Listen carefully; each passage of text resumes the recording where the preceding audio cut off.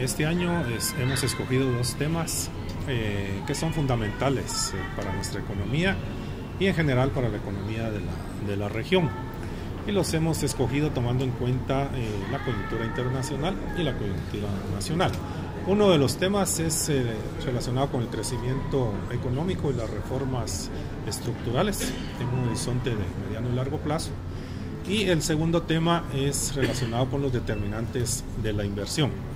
En ambos casos eh, lo que se busca es eh, tratar de ver cuáles son los factores que podrían eh, acelerar, acelerar, y potenciar el crecimiento económico de nuestro país, que dicho sea de paso, pues ha tenido tasas de crecimiento positivas.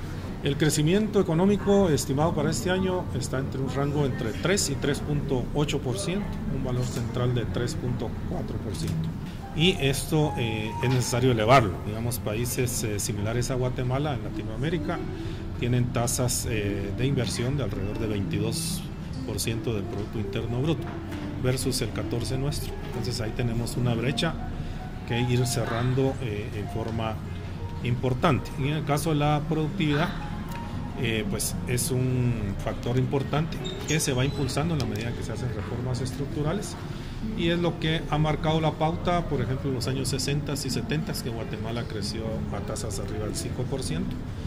Eh, es uno de los eh, factores que explica esos crecimientos eh, más acelerados que tuvimos.